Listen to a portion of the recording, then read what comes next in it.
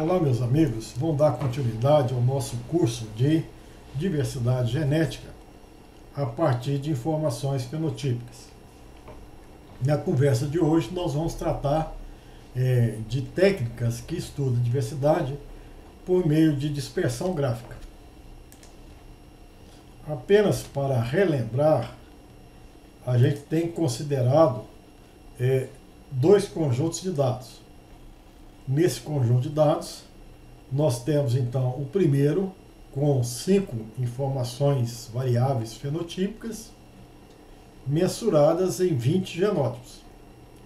E o segundo arquivo são esses mesmos 20 genótipos e nós temos informações fenotípicas de características multicategóricas, apresentando aí várias classes. A partir desses arquivos, nós já geramos matrizes de dissimilaridade.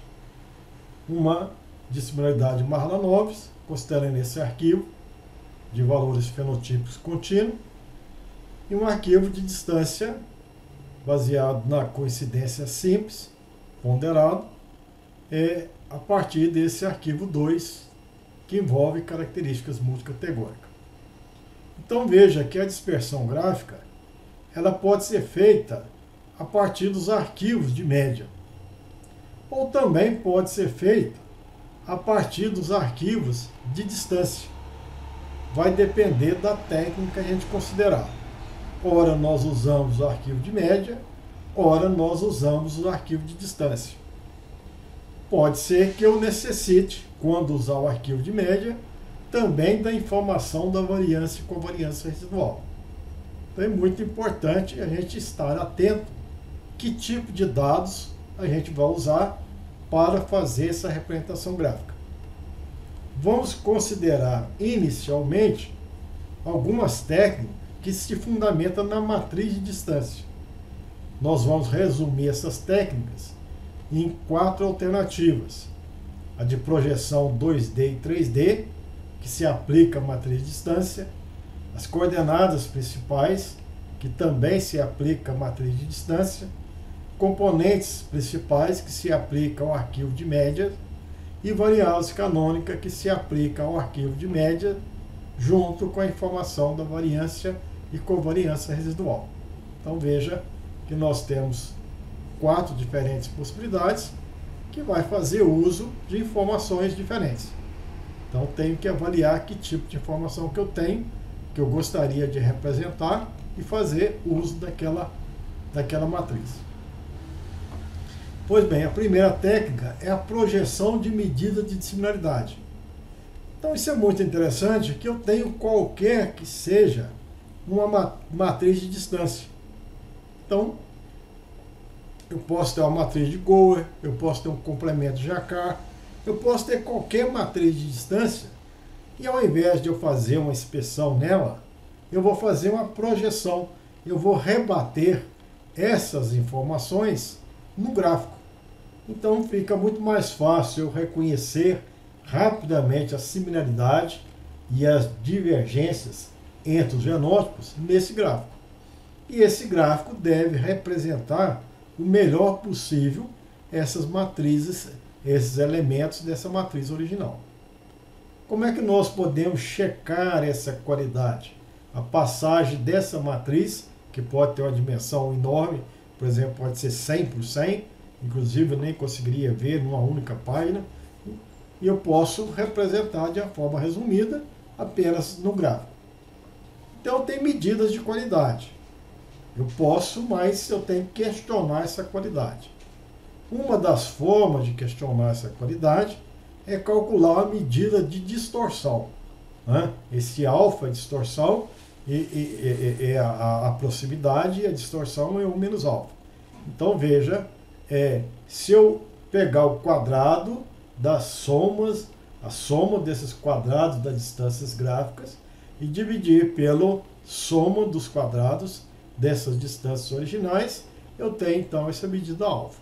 1 menos alfa vai ser a capacidade que eu tenho de transformar dessa matriz nessa projeção. Posso também usar a medida de estresse, ou seja, você confrontar a diferença entre a distância gráfica com a distância original, ao quadrado dividido pelo quadrado da distância original. Isso me dá a medida de estresse. Ou também basta eu ter esses elementos e a partir desse gráfico gerar novas distâncias, que a gente vai chamar de distância gráfica, e fazer então a correlação entre as distâncias originais e a distância gráfica. Então a qualidade, nós falamos que uma boa representação é aquela que provoca uma distorção pequena, digamos inferior a 20%, um estresse pequeno, também geralmente inferior a 20%, e uma correlação alta, uma correlação significativa. Né? Qualquer que seja a correlação for significativa, estou satisfeito. A ideal é uma correlação acima de 0,8. Pois bem, como é que nós fazemos? Nós vamos então fazer essa representação. Nós primeiro é, fazemos a representação do genótipo, é, do par de genótipo mais divergente. Então, eu vou nessa matriz de distância e vou identificar os mais divergentes.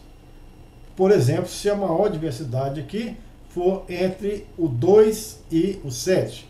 Então eu coloco aqui o 2 na coordenada 0, 0 e o 7 eu coloco na coordenada de distância, na coordenada x, e o valor de y igual a zero. Então nós falamos que esse processo de projeção é um processo que inicialmente ele é arbitrário.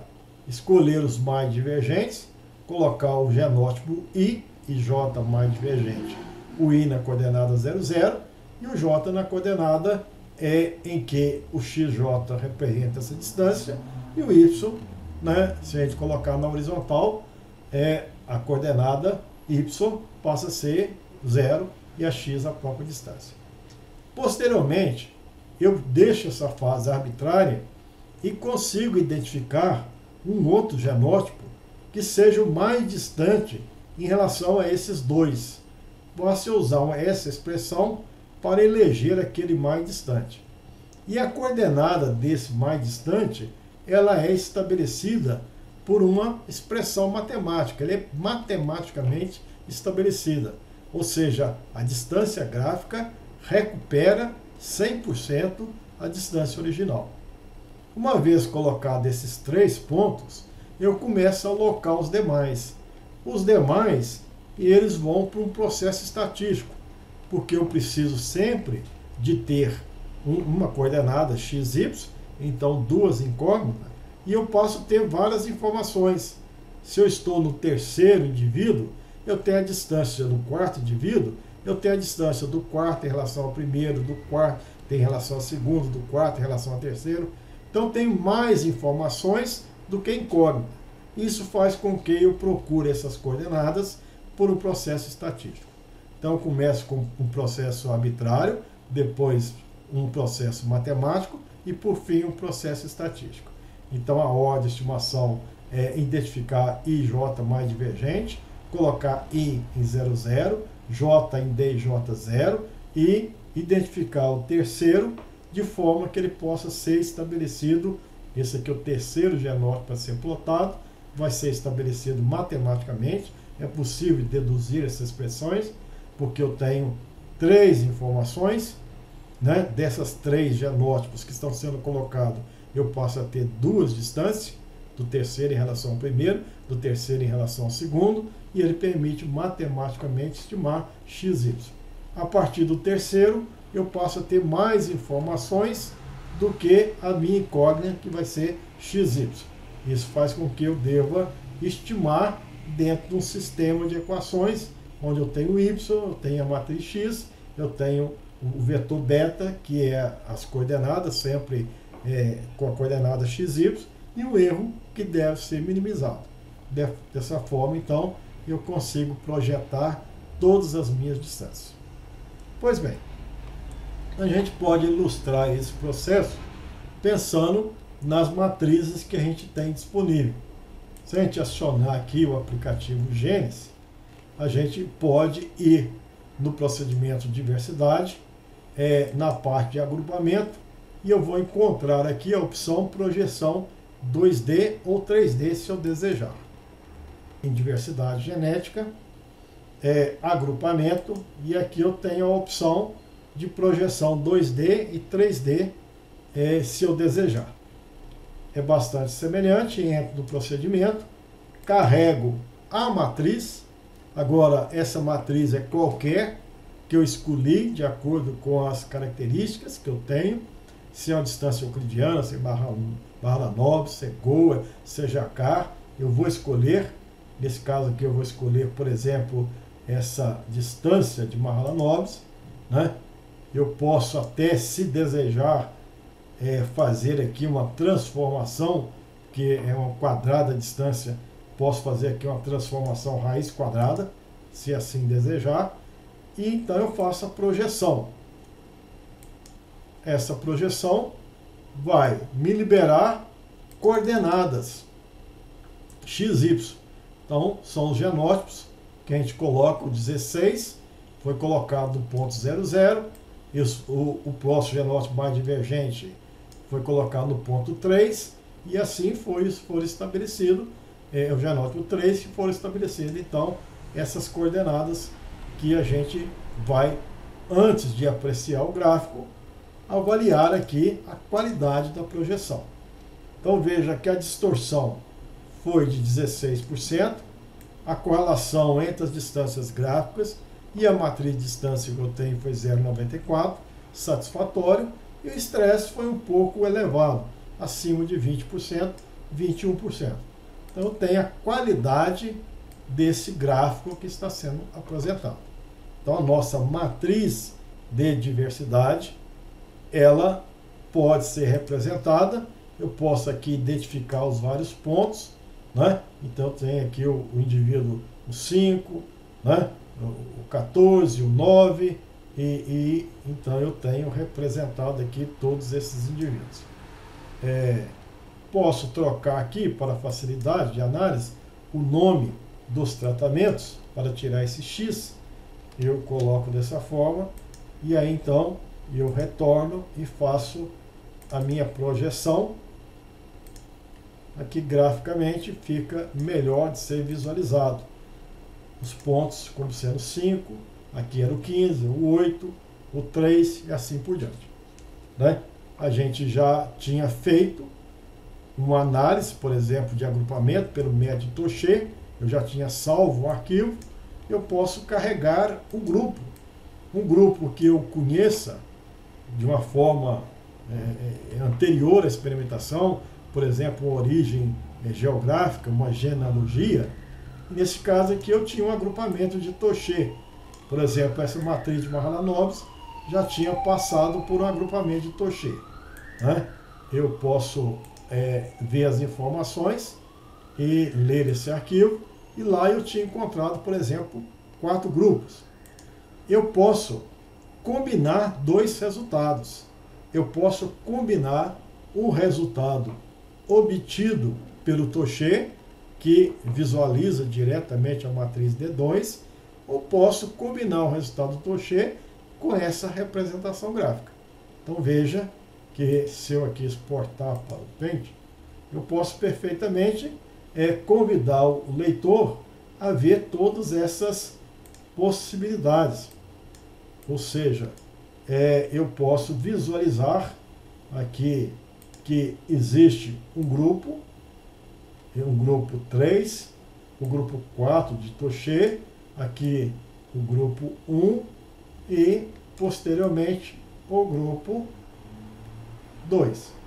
Então, aqui nós estamos fazendo uso de duas técnicas multivariadas. Esse agrupamento aqui feito pelo agrupamento de Toché, cujas informações foram salvas pelo programa Gênesis, e esse agrupamento aqui é um agrupamento de projeção. Então é uma possibilidade, a qualidade desse agrupamento ela foi avaliada, e eu posso fazer aqui uma projeção é 3D.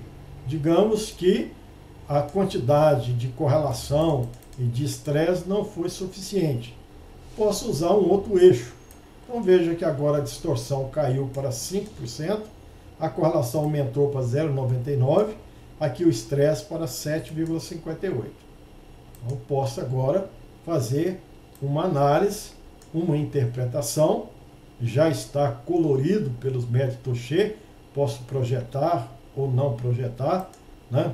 Então tem aqui aqueles indivíduos do grupo 2, do grupo 1, do grupo 3 e do grupo 4. Então a gente pode aqui ter essas informações da projeção de qualquer uma das suas matrizes de distância. Se quiser ter uma visualização é, em que você faça é, movimentação para ter a dispersão em diferentes ângulos, você pode perfeitamente realizar esse procedimento. Então nós conseguimos é, fazer estudo da diversidade por meio de uma projeção da distância.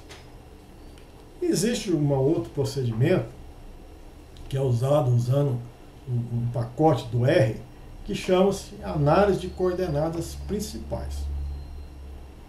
Essa análise de coordenadas principais ela tem o mesmo objetivo do que a projeção que nós acabamos de apresentar. Ela projeta também qualquer que seja a matriz de distância. Faz a projeção, tanto uma projeção XY, 2D, 3D, ou, ou, ou, ou gera um outro número arbitrário de erro, de eixo que você desejar. Então é um pacote lá do R que se vocês quiserem informações, poderão ler sobre esse assunto. Existe uma série, esse comando, CMD escala, né, onde você determina a matriz de distância que vai usar, aqui as dimensões, e você, você vai liberar o valor, o alto vetor, então você usa de forma apropriada e você faz então a sua projeção. Né? Você vai projetar aqui os seus dados de forma é, apropriada. Pois bem, se você quisesse fazer é, uma análise de coordenadas principais, você entraria também em diversidade genética, aqui em análise de agrupamento, e não sei se aqui tem, não. Então vamos aqui em análise multivariada, nós temos aqui coordenadas principais. O programa Gênesis, ele tem uma série de procedimentos, e quando ele marca com esse ícone do R, significa que ele vai enviar você para uma integração do Gênesis com o R. Se ele marcar com M, significa que ele vai enviar para uma integração com o MATLAB. Algumas vezes ele faz integração com o Selegen. E assim vai. Então nós vamos fazer uma análise de integração com o R. Posso chamar esse arquivo, é, arq1 Mahalanobis, que nós já acabamos de usar. Podemos estabelecer aqui dois eixos, né, uma análise com eixo 1 e eixo 2, e simplesmente fornecer essas, essa matriz e realizar a análise. É, o programa informa que você precisa é, de instalar previamente um pacote denominado vegan. Então, vocês, esse é o conhecimento mínimo que vocês têm que ter. Né? É, a gente fornece para vocês é, o script que a gente vai usar. Se alguém quiser mudar o script, esteja à vontade. A gente fornece aqui é, a literatura sobre é, como é, fazer uma pesquisa, é, quais são as particularidades desse comando pela internet, você vai ter muito mais informações, mas fica aí a critério de vocês usar ou não. Então, se eu tiver aqui o R instalado, né, é, e se eu tiver esse pacote instalado, eu estou apto a clicar nesse botão e fazer a minha análise. Aqui parece né? É, não, que aqui eu não tenho aqui instalado o vegan e consequentemente eu deveria instalar. Vou aqui conferir primeiro se o R está identificado, né? Clico aqui nesse botão. Então ele vai ver que versão do R que eu tenho. Então foi alterada. Aqui eu retorno, faço análise de coordenadas principais, chamo essa matriz então agora o Gene sabe onde é que o R está. Pode ser que ele vai rodar se tiver o vegan instalado.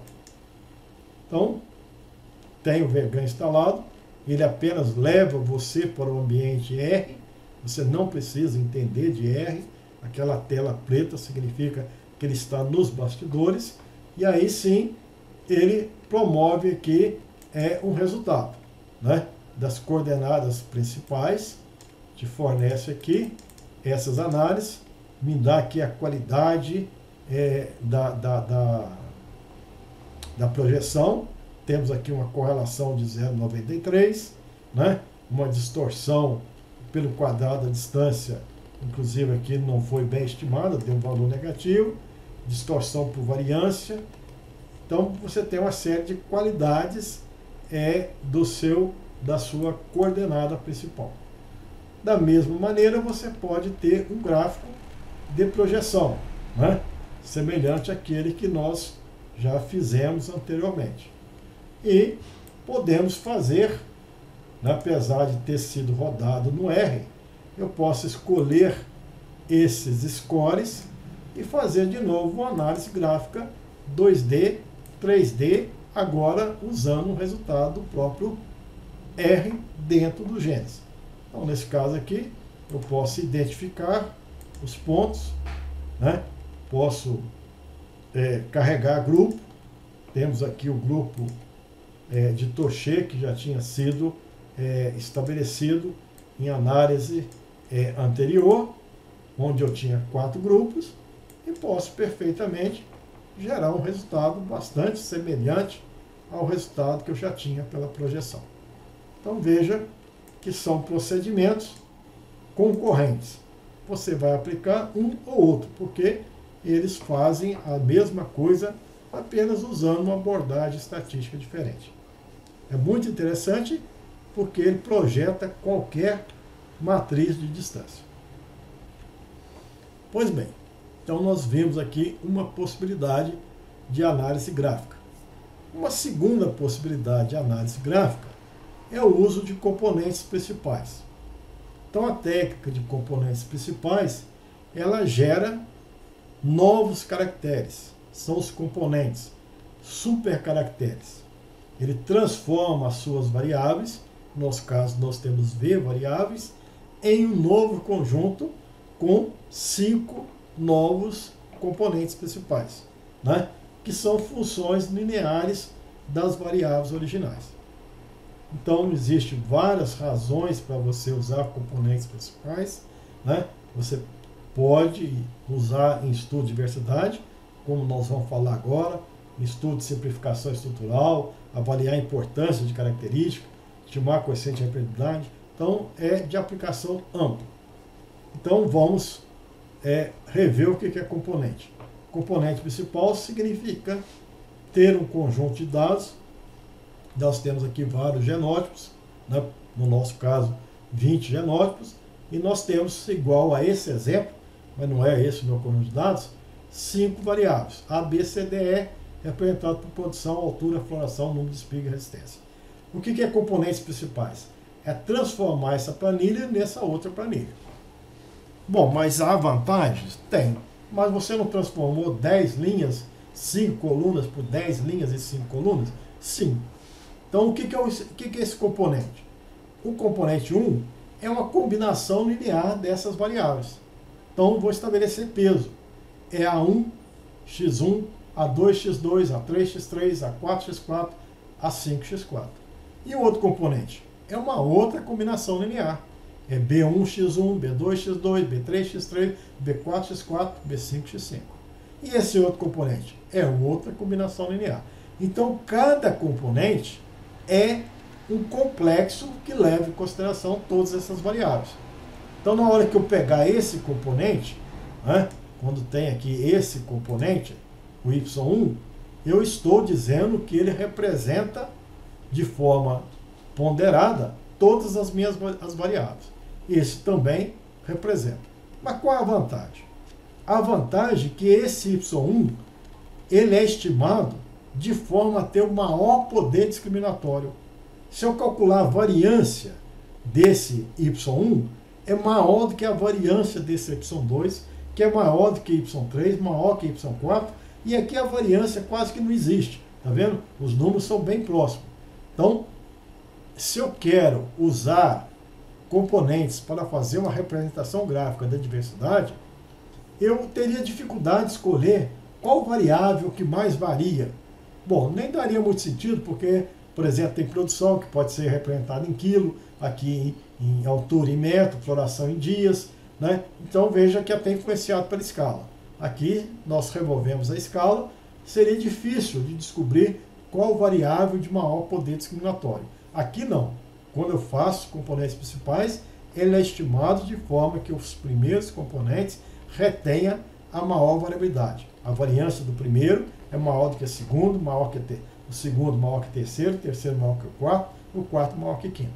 Então essa propriedade é importantíssima quando se objetiva estudar a diversidade genética, fazendo aí uma simplificação estrutural. Ao invés de eu usar cinco variáveis, eu uso duas, porque essas duas aqui têm alto poder discriminatório. Ah, mas eu eliminei variáveis? Não, eu não eliminei variáveis, porque Y1 ela é influenciado pelas cinco variáveis. Y2 também é influenciado pelas cinco variáveis. Eu apenas fiz uma representação diferenciada dessas minhas variáveis. Então, a primeira propriedade é que eles retêm muitas variâncias. Primeiro, maior variância. A segunda é que eles carregam as informações de todas as variáveis originais. Existe uma outra importância, é que eles têm covariância zero. Se eu calcular a covariância dessa coluna com essa, qualquer par de coluna dá covariância zero. Eles são ortogonais. Então, muito apropriado para fazer dispersões gráficas em eixos né, cartesiano, em que eh, os ângulos do eixo x e y é de 90 graus. São, representa aí complexo independente. Então, essa covariância nula também é algo importante. Então, veja que passar desse conjunto de informações para esse conjunto de informações, para quem quer posteriormente fazer um gráfico de dispersão, é melhor usar essas informações. Eu sei quem eu vou usar, eu sei que as propriedades da, da, da não correlação está garantida e eu sei que cada eixo está ali representado todas as informações que eu trabalhei, mensurei e acho que é importante. Então, estatisticamente, é, um componente principal é dado por uma combinação linear né, das minhas variáveis. Um outro componente principal é uma outra combinação linear. Então veja que o componente ele absorve as informações de todas as variáveis, de uma forma e de outra. Entre todos os componentes, o primeiro apresenta maior variância, o segundo a segunda maior, e assim sucessivamente.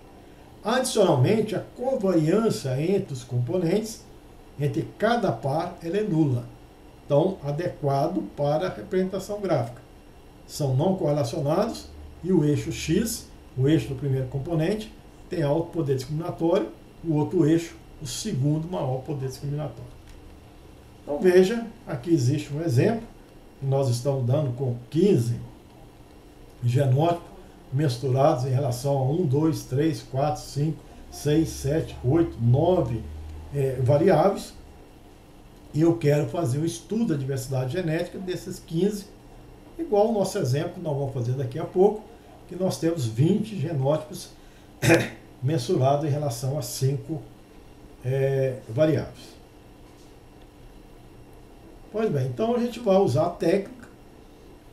É, na, na técnica, a gente vai é, obter esses pesos, né? Então cada componente é uma combinação linear. Está aqui os pesos de cada variável para o primeiro componente. Então a gente pode representar aqui é esse primeiro componente.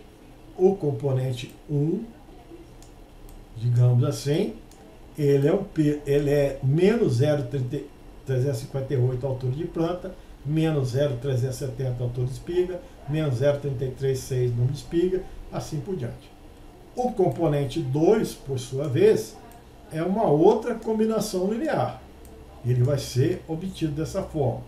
Até o componente, né, que nós temos aqui, 1, 2, 3, 4, 5, 6, 7, 8, 9.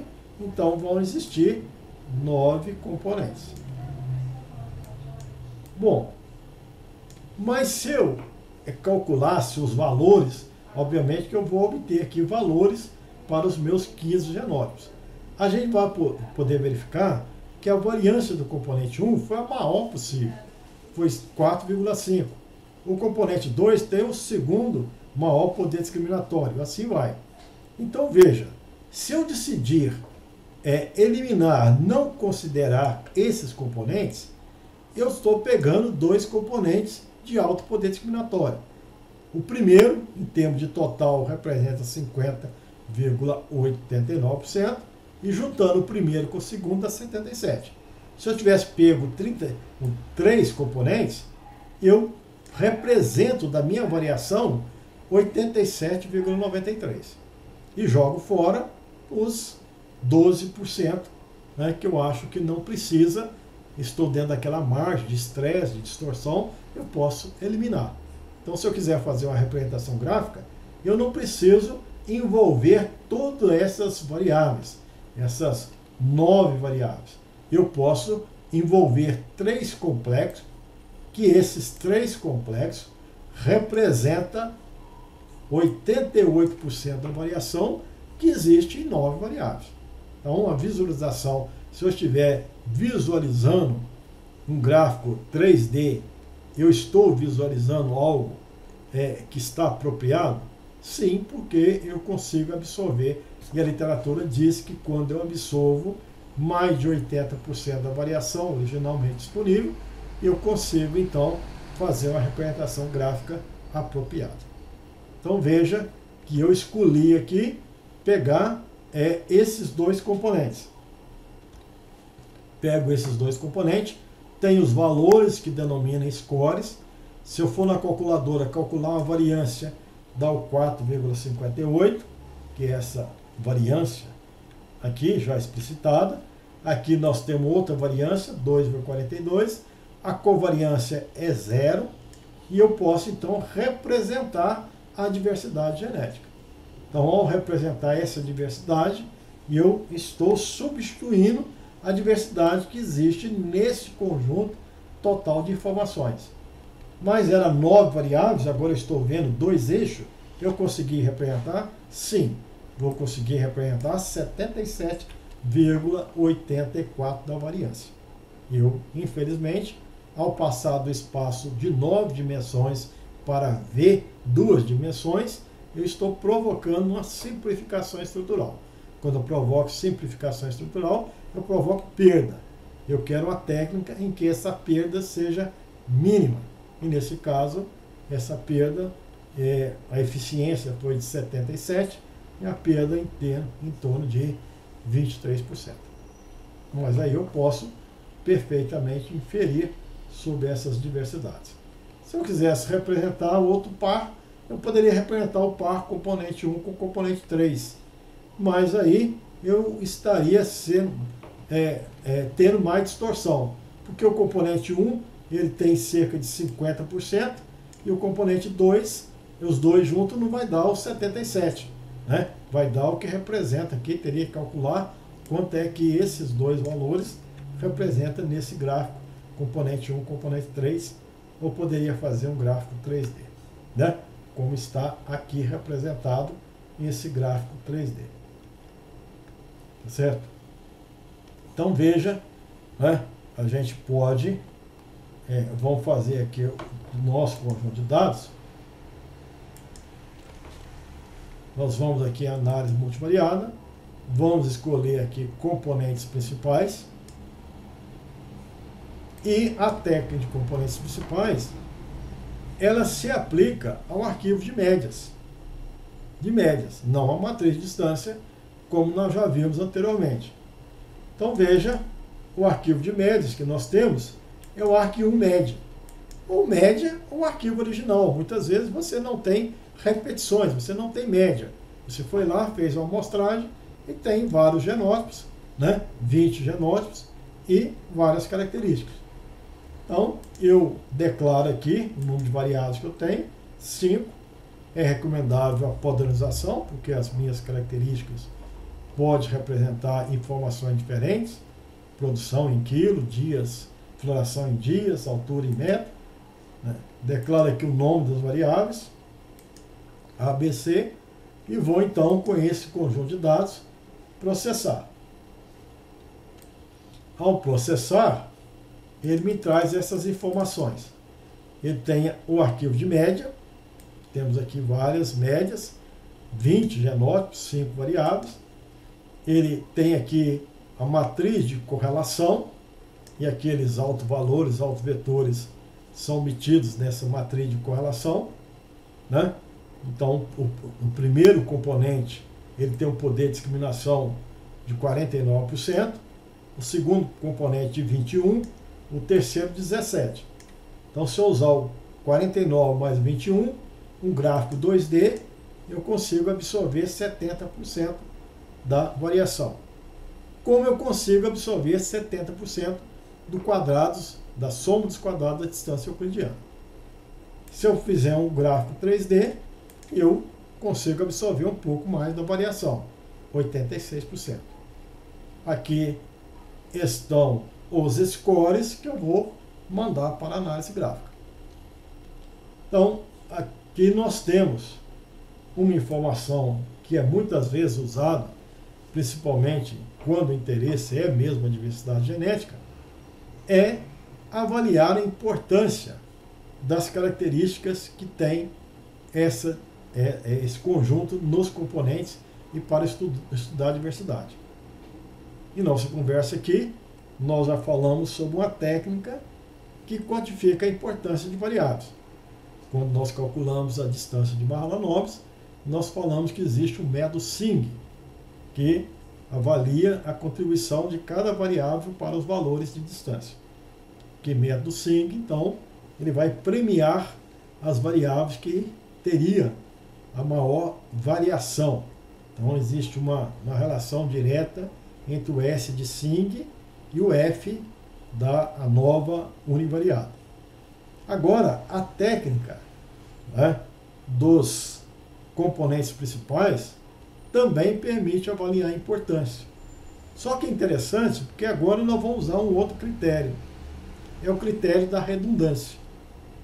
Então, se você rodar essa análise, se houver redundância, é, e você rodar essa análise, você vai ter, vai perceber que os últimos componentes, havendo redundância, ele vai apontar que tem variância, capacidade discriminatória zero. Então, existindo uma maneira é, de você avaliar então essa importância seria vendo essas variâncias desses componentes. Então veja, o último componente é um componente que tem uma variância de 4. Em relação à soma de 0, a variância de 0,21, desculpa, certo? Em porcentagem, 4%. Então ela é muito pequena. Se ela é muito pequena, nós podemos imaginar que existe aqui uma certa redundância. Bom, esse aqui representa os pesos que eu tenho para o componente 1, aqui para o componente 2, aqui para o componente 3, aqui para o componente 4 e aqui para o componente 5. Então, existem duas estratégias para avaliar a importância. A primeira estratégia é avaliar no componente 1 aquela variável de maior peso. Neste caso aqui foi a 0,5778. A que destacou o maior peso aqui foi a variável A. Então você pode chegar, aqui um exemplo até coincidentemente interessante, você pode chegar à conclusão de que a variável A é mais importante para o componente 1, que é importante para você 49%. Então a variável A se destaca não, não é igual o método SIG que distribui a importância. Aqui ele vai apenas dizer que a variável A é a mais importante. É a mais importante para você? Não. É a mais importante para o componente 1. O componente 1 é importante para você? Sim, ele é importante 49%. Mas você pode ter um, um outro critério, que muita gente acha, entre eles Joliffe, acha que é mais eficiente. Ao invés de você ir no primeiro componente, você vai no último componente. Esses componentes você pretende descartar. Tanto é que você quer fazer uma análise do gráfico 2D ou 3D. Então esse aqui você vai jogar fora. E você vai perguntar agora, quem que é mais importante naquilo que você pretende jogar fora? Naquilo que você pretende jogar fora, coincidiu a variável A, ela é mais importante no último componente, que é importante 4%. Uma variável importante em algo que você pretende jogar fora é uma, é uma variável que, na verdade, não é importante. Ela pesou, ela ponderou, ela foi importante em razão da sua redundância. Então, o programa faz uma análise é, de cima para baixo, identificando as maiores importâncias, nós vamos chamar aqui as variáveis de destaque, foi A, E. Então você pode, ó, quem destacou no primeiro componente é o mais importante, o A, o A e o E. O E é mais importante? Não. O E é mais importante para o segundo componente, e o segundo componente é importante quanto? 21%. Agora, o A é importante? Sim, é importante em algo que pretende descartar. Então, A ele é descartável. Aí você pode perguntar para mim, ah, mas não entendi. Você acaba de falar comigo que o A é mais importante. Agora você acaba de dizer para mim que o A é para você jogar fora. Afinal de contas, o A é mais importante ou o A é menos importante? Então esse é o resultado, esse é, é algo que vocês têm que ler a respeito do assunto, é onde as, as duas linhas de raciocínio são permitidas. É, a gente prefere a linha de descarte. A gente prefere é, usar técnicas componente, componentes principais para identificar desta, é, é, descarte e não usar técnicas de componentes principais para identificar as mais importantes. São duas estratégias, tá certo? Ou seja, você sempre identifica pelos maiores pesos. O maior peso foi esse, nesse componente, é, neste componente, o maior peso foi este, então foi a variável D, tá certo? Aqui, nesse componente, o maior peso foi a variável B, e assim vai. Então você tem os maiores pesos das variáveis em cada um desses componentes. Então agora você tem que saber interpretar. De cima para baixo, dá importância? Dá importância para o componente. Então identificar a importância é um critério que, no meu entendimento, é um critério mais fragilizado, porque essa variável A é mais importante algo que é importante 49%. Essa variável E é importante em algo que é importante 21%. Essa variável B é a variável mais importante em algo que é importante 15% e que eu pretendo jogar fora. Então, se a variável B é importante em algo que eu pretendo jogar fora, ela é mais importante naquilo que eu descartei. Então, ela não foi relevante para o meu estudo da mesma forma. Então, mas eu posso chegar a esse conveniente de dizer que A é mais importante, nesse critério de avaliação de importante, e A é mais descartável nesse critério de descartável.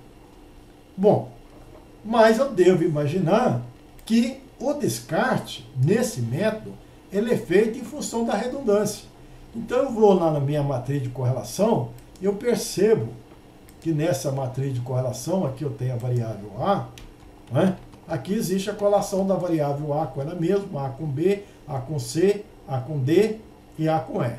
Então, ela acaba sendo uma variável menos importante porque ela está representada por outras variáveis. Ela tem alta correlação com outras variáveis. Ela tem correlação não com B, negativamente, mas é alta, com C, negativamente alta, então é uma variável mais redundante.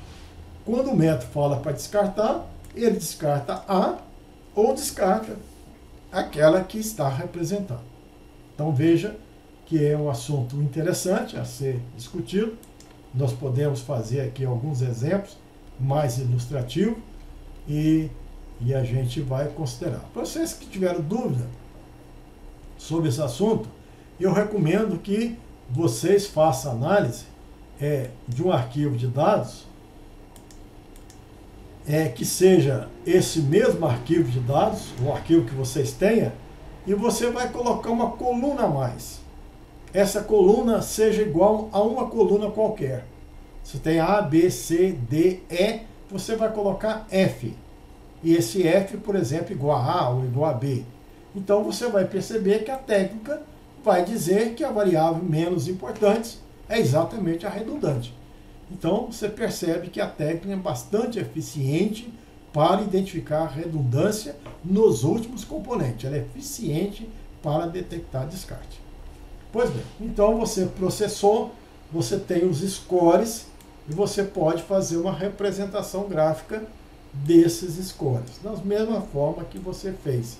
Né? Aqui nós identificamos pontos. Se você quiser é, caracterizar, unir a informação do MED Toche que você já tinha, tem aqui o arquivo de Toche, já tinha identificado quatro grupos, você retorna e você tem a representação gráfica aqui do método Toche. Tá certo? Então, é, essa é uma possibilidade. É bastante interessante você unir, então, uma técnica de componentes principais com a técnica aqui de agrupamento e otimização, por exemplo. Né? Você está combinando aqui duas técnicas. Então, veja, vamos refazer essa análise para que a gente mostre aqui um outro assunto. É, existe, e esse aqui é, uma, é um recurso do aplicativo Gênesis, onde você faz análise, e nós vamos então fazer a representação aqui dos scores. Vou identificar aqui os pontos e você tem a dispersão. Agora, é muito comum que você estude a diversidade genética e tenha esse gráfico tão desejado para saber que o 3 é próximo do 15, do 5, do 8, é diferente do 7 e assim por diante. O Gênesis permite uma interpretação univariada dentro desse gráfico multivariado. Então você tem várias variáveis, A, B, C, D, E. Vamos supor que a variável é, a variável C, por exemplo, fosse a mais importante, representasse aí a produção de grãos. Então eu posso pedir para o computador, que já sabia sobre as médias, que representasse aqui, eu tenho 20 indivíduos, eu quero os 5 indivíduos maiores, ou posso querer os menores. Por exemplo, eu quero plantas mais baixas, mais precoces, basta eu clicar nessa palavra maior ou menor, então vou colocar maior. Então eu quero cinco maiores em relação à variável C. É uma decisão univariada. Executo. E aqui está, ele colore esses cinco pontinhos aqui de vermelho. Então ele trouxe para esse gráfico multivariado uma informação univariada. Então eu sei que esses pontinhos são os melhores, são os bons para a característica C que eu achei que era mais importante. Se eu quero a característica A, eu mando plotar para a característica A. Então, se eu quero, bom, quem que eu vou recomendar para cruzamento? Bons e divergentes. Bons em relação a quem? Pode ser em relação univariada. Bons em relação à variável C. Quais são os bons em relação à variável C? O 3, o 15, o 8, o 18 e o 6. Se fosse fazer um teste de média, poderia ter esse teste de média instalado. Agora, quais são os bons semelhantes e quais são os bons divergentes? O 3 e o 6 são materiais bons e bem divergentes. O 3 é mais similar em relação ao 15. Então veja que isso aqui, esse gráfico, responde a uma questão importante que nós temos. Identificar os indivíduos bons, posso até fazer um, um teste média posteriormente, poderia ter feito um teste média, é, e agora estou contemplando a diversidade genética. Então veja que é um resultado bastante interessante. Se eu quisesse fazer um gráfico 3D, eu, da mesma forma, poderia ter feito esse gráfico 3D. Né? Aqui é o processo, e aqui o scores, aqui o gráfico 3D. Ou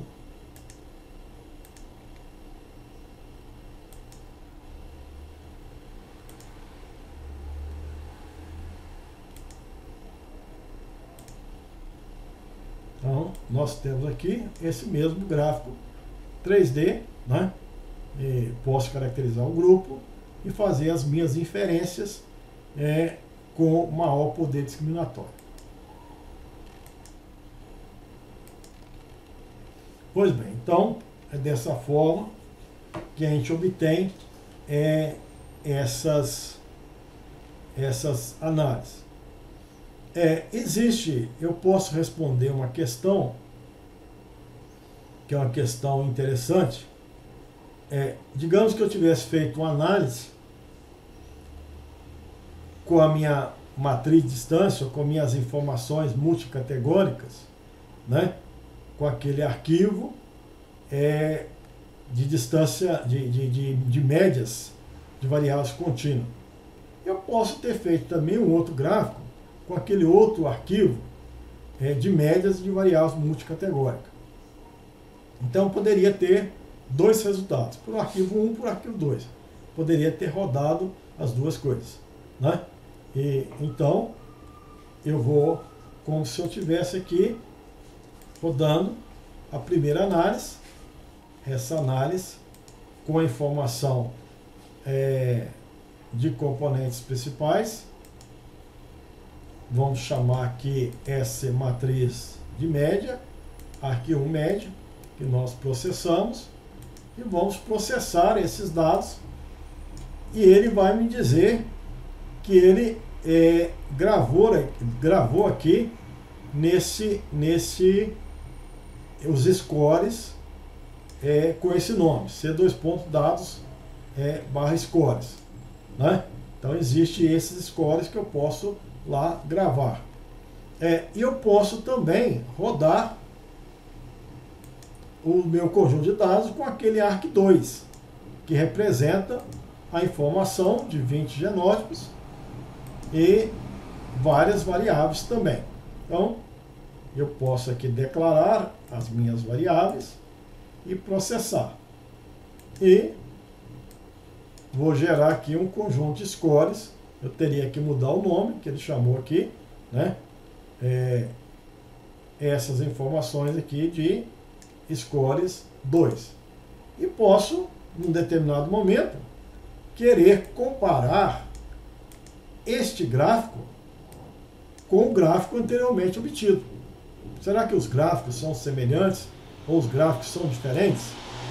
Então, para isso, eu posso recorrer a uma técnica multivariada, que é uma técnica denominada de Procluster, onde eu, eu posso fazer por dispersão, né, usar aqui dois arquivos de dados, né, tanto o arquivo 1 quanto o arquivo 2, e gerar, então, é uma análise de componentes principais para o arquivo 1 para o arquivo 2 e comparar né, essas informações. Então, posso carregar aqui a informação é, do arquivo 1 e posso carregar as informações é, do arquivo 2. Aqui não é não é de menos informações. E posso processar e ter a técnica dos componentes principais aplicado a esses dois conjuntos de dados.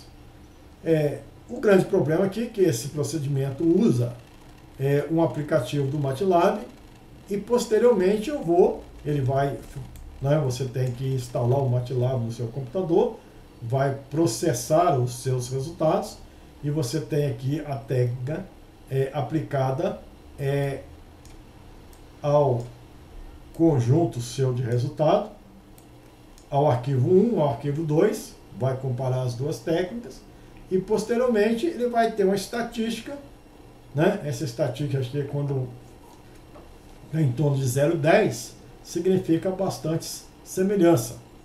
É, aqui nós temos o ponto 1 e o ponto 1 bem próximo, o 19 com 19, o 4 com 4, certo? o 10 com 10. Então a gente diz que esses gráficos são semelhantes. Ou seja, se eu fazer um processo, vamos retornar. Se eu desejar fazer uma comparação entre dois gráficos, eu posso. Essa, essa comparação ela é feita por meio de uma técnica chamada de Procrusta, onde eu gero o gráfico 1 com um conjunto de dados, um gráfico 2 com outro conjunto de dados, e essa técnica de Procluster, ela vai comparar esses dois gráficos, vai fazer uma transição, colocar no mesmo eixo, vai fazer uma rotação de forma a coincidir os pontos e fazer um teste de escala para saber se de fato um gráfico bate em relação ao outro. Então, se a minha hipótese é a diversidade genética que eu encontrei usando o primeiro conjunto de dados, ela é semelhante à diversidade genética usando o segundo conjunto de dados por meio de uma análise gráfica, essas duas dispersões gráficas são semelhantes, então uso a técnica de Procluster e garanto a semelhança dos dois resultados, não há semelhança. A estatística M2, que dá um resultado final de semelhança, está em torno de 0,11, é, numa faixa de 0,10, 0,11, 0,15, é tolerável para dizer que são é, semelhantes. Então, existe esse procedimento do Procluster, que é feito no MATLAB e a gente introduz aqui dois arquivos de dados e faz então essas análises. Pois bem, e por fim, nós temos um último procedimento, também de dispersão gráfica, mas que também, a semelhança de componentes principais, ele utiliza um arquivo de média. Só que ele acrescenta um cuidado adicional. Ele questiona que essas médias representam variáveis com precisão diferente. E como é que eu tenho essa precisão? Se eu tiver um experimento, como eu tenho, um experimento conduzido em blocos ou acaso, com quatro repetições, eu tenho informações das variâncias e covariâncias residuais. E eu posso levar em consideração essas informações para a minha análise gráfica. Então veja, a gente recomenda se você tem um conjunto de genótipos. A gente pergunta, tem repetições? Tem. Então seria interessante você fazer uma análise de variáveis canônicas, porque variáveis canônicas levam em consideração, além das diferenças entre os potenciais, as médias, pondera cada característica pela variância com variância residual. Bom, não tem. Eu não tenho delineamento. Isso aí foi feito uma amostragem. Eu fui a campo, e amostrei vários 20 genótipos, mas não tinha repetição. Foi apenas avaliação direta. Bom, então se você não tem repetição, não tem como eu fazer diversidade genética por meio de análise gráfica? Tem, tá certo? Você não vai questionar se a variável A é mais precisa do que a variável B. Todas as variáveis têm igual precisão. Poder discriminatório, elas podem ter poder discriminatório diferente. Óbvio que A pode discriminar mais o genótipo que B, mas nós não estamos questionando a precisão experimental que vem da informação residual.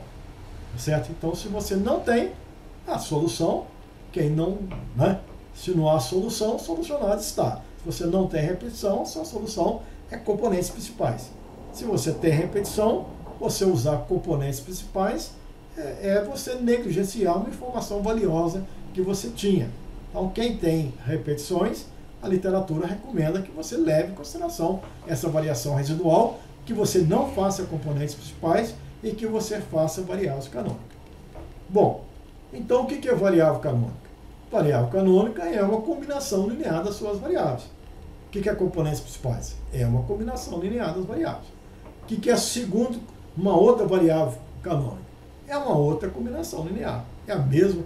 A definição são, as definições são exatamente as mesmas. A covariância entre duas variáveis canônicas ela é nula. Mas o que difere exatamente na restrição. Né? No caso de variáveis canônicas, você incorpora a informação da variação, da covariância, da variância residual nesses pesos de ponderação. Esses pesos são influenciados por essas variâncias e covariâncias. Então, é uma maneira de você impactar a precisão nesses coeficientes de ponderação. E você vai estimar da mesma forma. Né? Aqui a variável canônica ela está definida como sendo uma combinação linear. A segunda variável canônica é outra combinação linear. Você quer estimar essas variáveis de modo a ter maior poder discriminatório.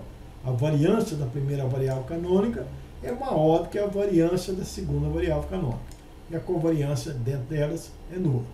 Bom, elas são obtidas por autovalores e autovetores dessa matriz E-1T.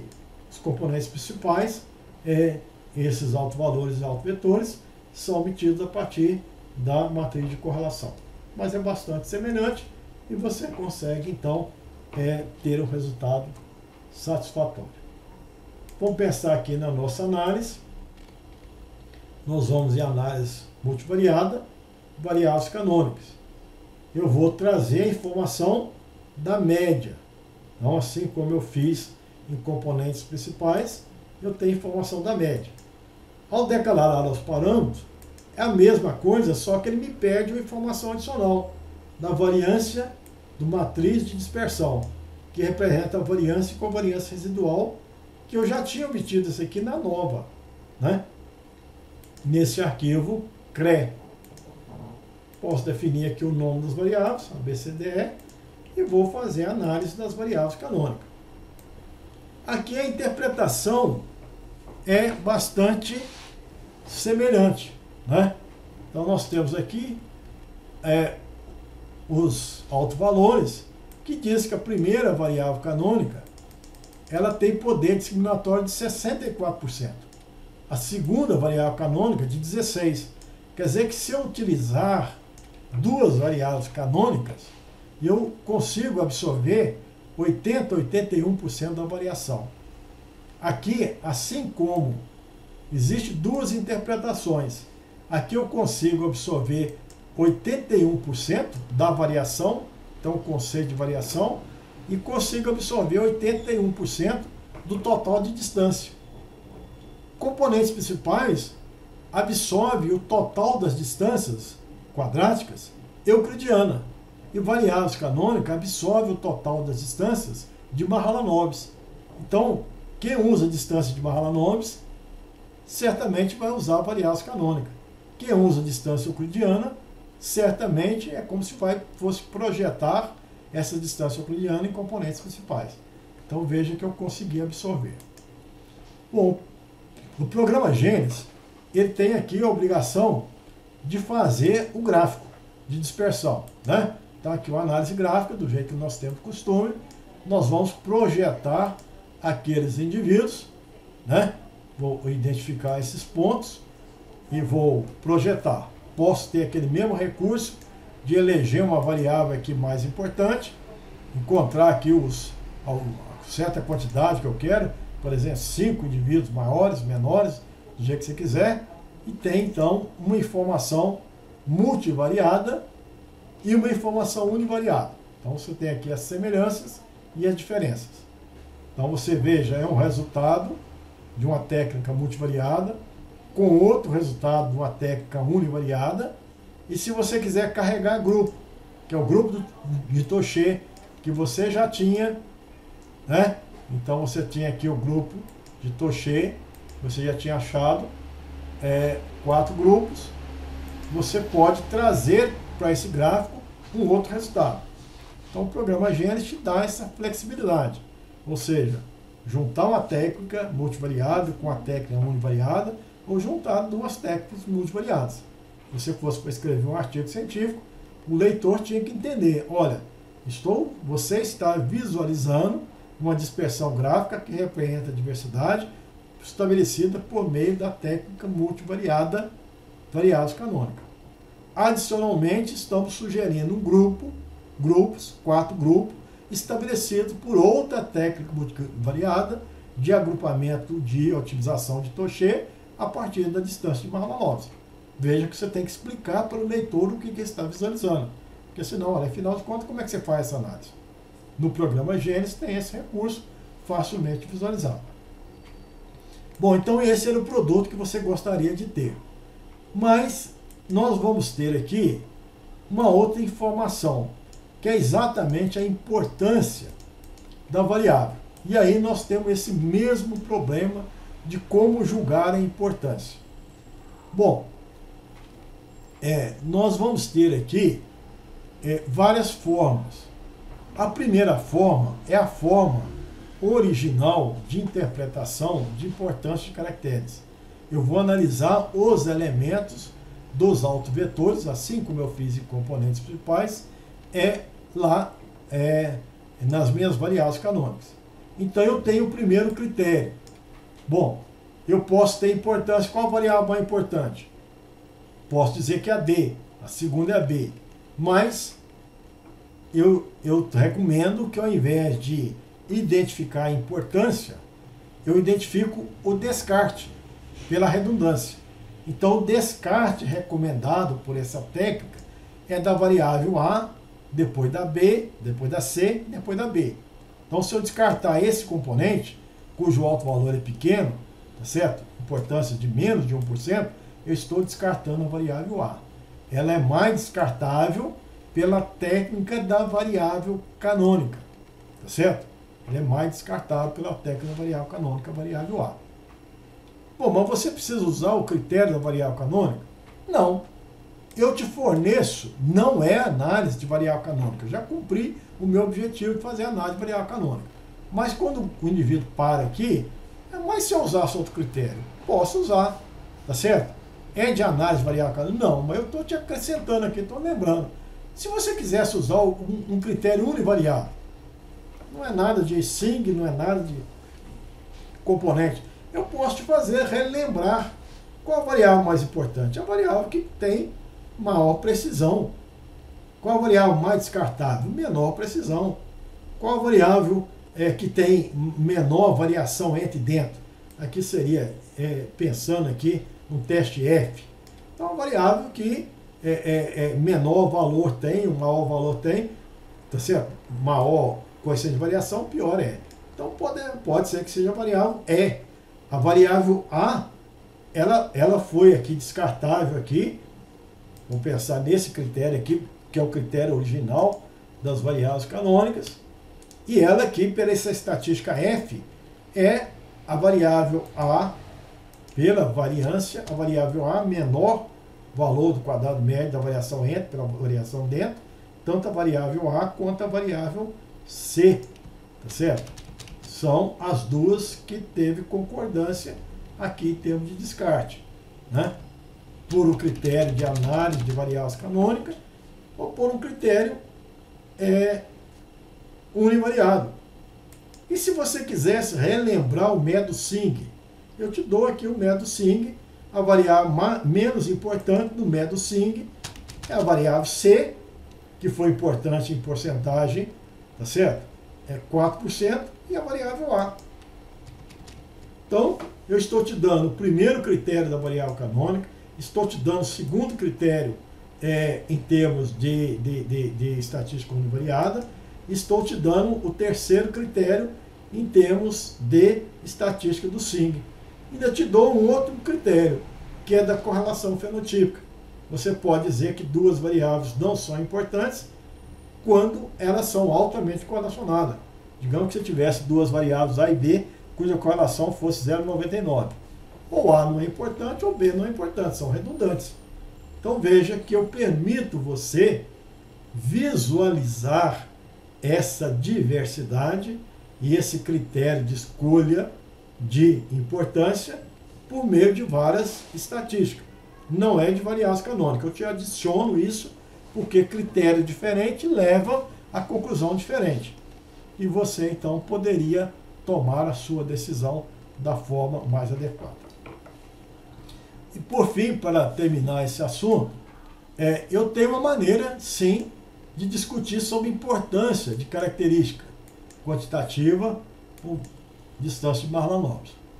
Bom, então nós vamos trazer aqui o nosso arquivo de média, arquivo média, né? Aqui o arquivo de dispersão, arq1 CRE, temos cinco variáveis.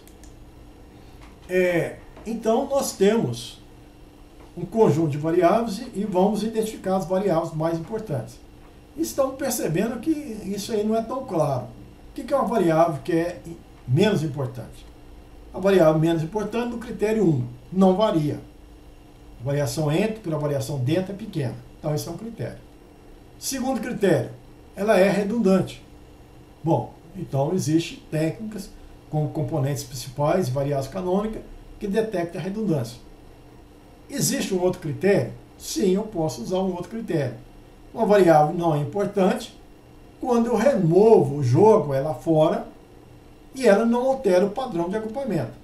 Então veja, eu estou introduzindo essas informações e vamos considerar é, que eu tenho aqui o nome das variáveis ABCDE. Eu vou processar com todas as variáveis.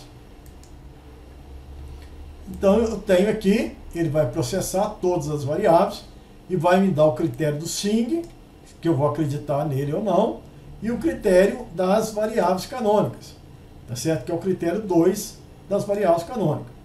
Aqui o SING está dizendo para eu jogar fora a variável C, que é a menos importante. Das variáveis canônicas está me sugerindo descartar a variável A. Afinal de contas, qual variável, qual o melhor critério? Eu pego esse agrupamento, que não há descarte, aqui existe até a importância, e faço uma análise, uma nova análise. Alguém me pediu para descartar a variável A. Eu vou selecionar todas e descartar a variável A. E vou prosseguir. Tem um novo agrupamento. Então veja, este agrupamento que eu vou colar aqui era um agrupamento com as cinco variáveis. Esse agrupamento aqui é o agrupamento descartado da variável A. Então posso usar esse critério. A variável A pode ser descartada? Não, porque quando eu descartei, eu alterei o padrão de agrupamento. Então posso usar o critério de que uma variável é dispensável, quando eu jogo ela fora, o agrupamento continua sendo, tá certo? Mantido, o mesmo. Então veja que eu alterei. Se eu descartasse a variável C, o que, que aconteceria? Eu posso também pensar no descarte da variável C. Então vou processar, selecionar todas, excluir a variável C e prosseguir. Então, temos de novo um resultado de agrupamento com descarte da variável C. Então, eu tenho aqui quatro grupos, quatro grupos. Né? Aqui tinha o 5 e o 15, o 5 e o 15, aqui 2, 16, manteve esse grupo, mas eu também alterei o padrão de agrupamento. Mas alterei é, menos. Então, vai depender de você adotar, está, adotar um critério ou não. Então, a técnica A falou que A é descartável, a outra falou que C é descartável. Então, você descarta. Descarta o que a técnica A falou, o que a técnica B falou e veja a consequência do descarte. Então, nós estamos convidando você a ver a consequência no agrupamento de Tocheiro e ver qual foi o impacto. Então, algo que é descartável significa que eu não precisava ter medido, porque eu entenderia o fenômeno da mesma forma com e sem aquela variável. Bom, e se alterasse, como eu alterei aqui? Você pode chegar à conclusão, olha, está me mandando estatisticamente descartar A e C. Mas eu, biologicamente, tenho certeza que A e C são fundamentais e eu não pretendo descartar coisa alguma em estudo futuro. Então essa que é a nossa ideia de, de fato, é, usar um critério adicional da redundância, o critério da variância e o critério da mudança do padrão de agrupamento ao mudar determinada variável. Então veja que as análises são, podem ser feitas de várias formas, tem uma série de outros recursos, mas além da análise computacional, a decisão, a vivência, a capacidade de interpretar, enxergar que o pesquisador tem, ela é indispensável. Ela que vai bater o martelo e, de fato, você vai é, é, dizer que, para aquele conjunto de dados, é, você foi auxiliado pelas técnicas biométricas e a sua interpretação justificada deve ser feita da maneira que você achar que é melhor. Bom, por hora é só. É, relembrando que nós temos uma série de outras informações sob a forma de vídeos no nosso canal do YouTube. E se vocês também tiverem dúvidas, vocês podem entrar na nossa comunidade do Gênesis News e colocar suas perguntas, suas sugestões, as suas contribuições para a melhoria desse assunto ou do programa Gênesis nós estamos inteiramente à vontade, é, à sua disposição. É, muito obrigado por tudo e até lá.